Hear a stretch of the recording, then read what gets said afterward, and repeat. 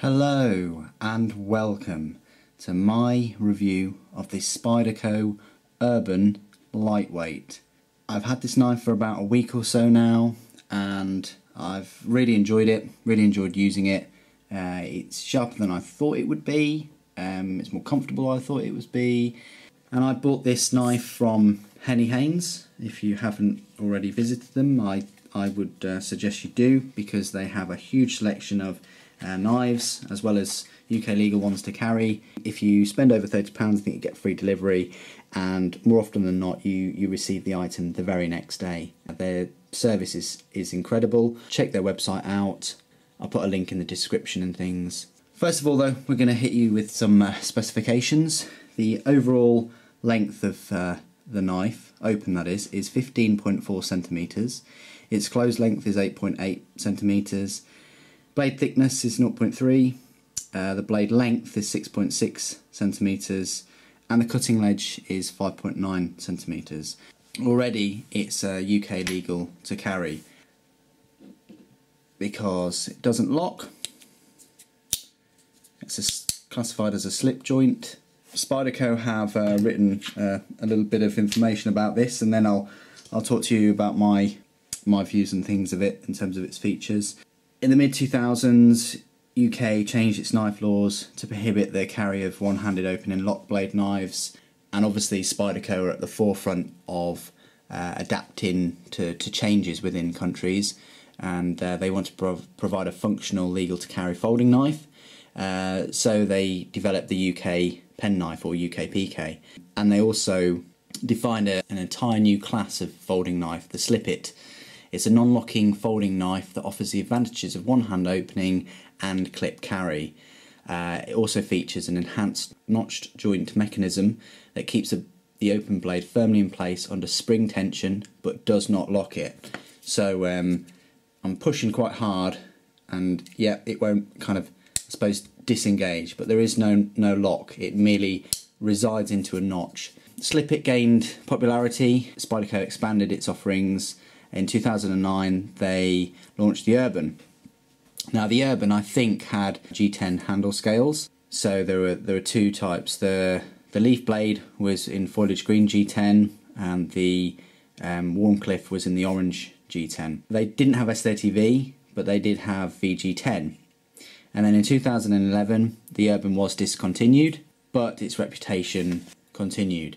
So what they've done is uh, they've reintroduced the Urban as a lightweight model in 2014. Of course this is 2015 but they, they introduced it last year and it combines all the desirable features of the original version with weight saving advantages of uh, an injection moulded handle or the FRN which is what the, the handle scale is made from. The blade itself is precision machined from premium Böhler Uddeholm N690CO steel, which is a high performance stainless steel which is alloyed with cobalt, molybdenum, and vanadium. It's got a full flat grind, leaf shaped profile. That provides an exceptional balance of strength, low friction cutting performance, and point utility. To prevent unintentional closure, blade also features a prominent index finger choil, finger groove there, and uh, they both have jimping or textured grooves on the thumb ramp and on the, the finger choil.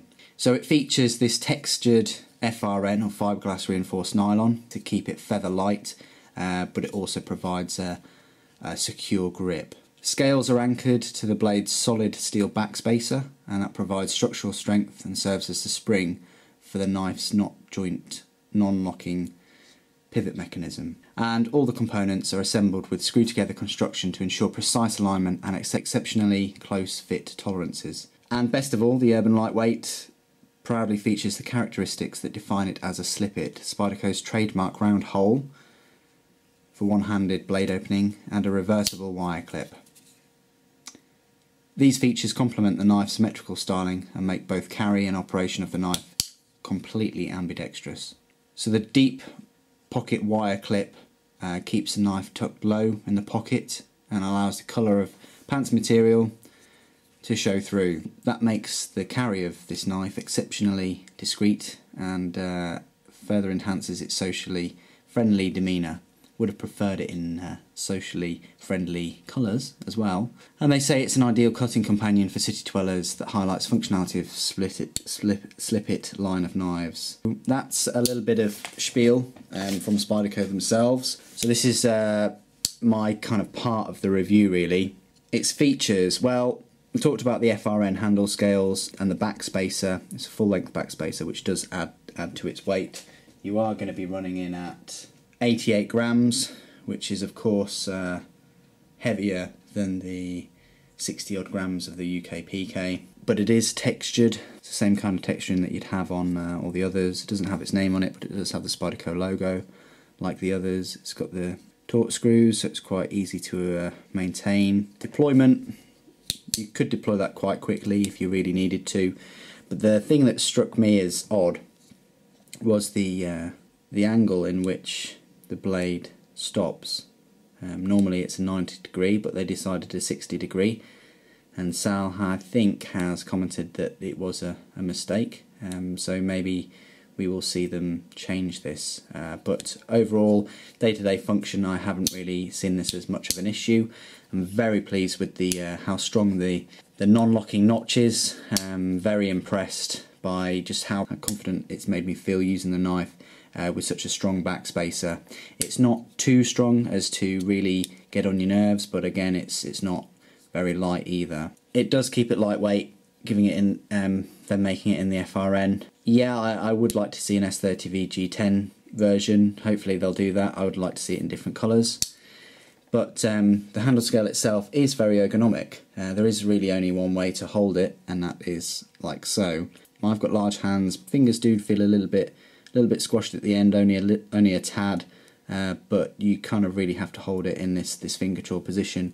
Gives you great precision though when you're when you're cutting or doing fine work. The actual only position of holding it lends itself very well to the to the knife. Uh, so it's got no liners, it's just a piece of FRN. Um, deployment is great, it's the signature trademark deployment of Spyderco with the Spidey hole. Don't know whether you could flick it completely open, that's the answer right there, uh, if that is, if you need to do that. But because it's kind of mainly addresses the, the urban environment, to deploy it quite slowly, it will be, you know, fine.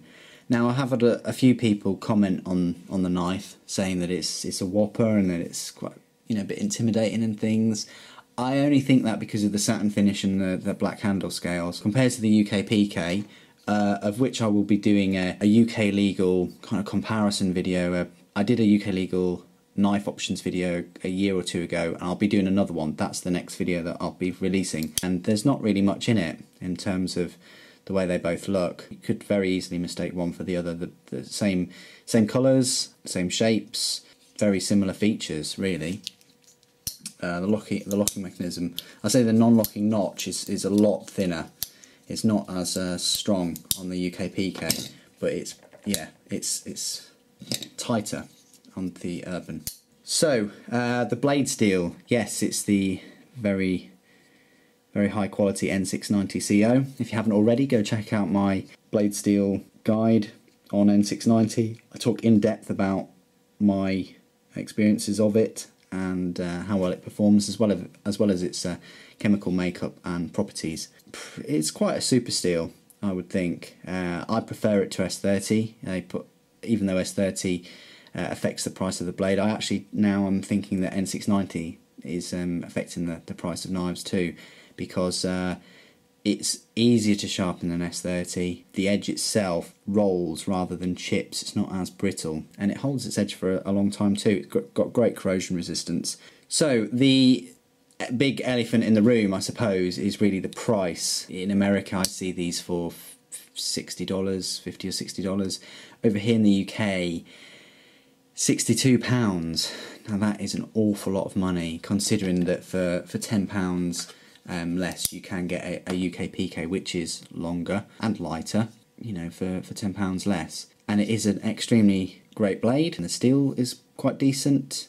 If I was to pick one, I'd just save the extra tenner and uh, get the Urban. Uh, now that I've had a good week or two uh, with the Urban, I really would. If you if you want to spend your tenner on something else, uh, then get the UK PK by all means, um, because it's still a very decent knife. It's got a bigger handle scale. If you've got a large hand, it's a no-brainer. You probably prefer this over the, over the Urban, but you will need to, to sharpen the, the steel a little bit more often. But if you want one of the best not UK legal knives to carry that it isn't that intimidating, it's sort of medium, small size knife that's completely legal to carry around with you, then this is really, I say the holy grail. Um, it's yeah, it's close. It's close. Um, but like I said, elephant in the room, the price. It's quite pricey. But in my opinion, after having this for a week or two, I'd say it's worth it. I'd say save up that extra £10. If you're going to buy one knife for UK legal carry, this is the one to go for because the blade steel is just incredible. Um, it's in a great package. The backspacer is very tight, um, very secure. Overall, it just exceeds expectations, um, like a lot of Spydercos. But if they asked any more for this, I don't think I would it. I think uh, £62 is, is really up there for a, a sub 3 inch knife with with this blade steel. Hopefully they'll do another version of this with better handle scales and uh, maybe even better steel. If they put some really high class steel on this, then yeah, it would be a great seller, I think. But uh, as it stands, this is probably the penultimate um, UK legal knife to carry, in my opinion, uh, for its size, weight, cutting performance, blade steel, you name it. So now I'm in this part of the video where I'm going to show you a few size comparisons. Um, so I'm going to put it flat. Um, we'll start off quite small, so the squeak it, Squeak has a quite a loose back spring really, back spacer. So it's just a little bit bigger than a Squeak. Um, Spy-DK, probably say the Spy-DK is a little bit, you can see I've used the Spy-DK, it's quite in a filthy condition actually. Um, same steel, N690 for all three, and I've got the, the Pingo too. I think the Pingo would go in between both of those. Yeah, about. So Spy-DK is a little bit longer. The handle scale is also just a little bit longer. Um, I find the Spy-DK very, I find it a little bit too short on the blade, but it's got a very nice point. Um, but the handle scale is is just just just about right for me. Um, so there you go. And then the UK largest of the five there. I hope that is uh, useful for you to see uh, that you've got the Squeak, the Pingo, the Urban, the Spy-DK, and the UK PK. As I mentioned earlier in the video, I will be doing a UK legal knife options video again with all my new updated knives. There may even be a new one. So as you've just heard, this knife is worth the asking price. It's an incredible little knife that you can use out and about, uh, obeys the UK knife law laws that we have here it's an excellent package by Spyderco. So that's the end of my review. Thank you ever so much for joining me. Thank you for watching. Take care.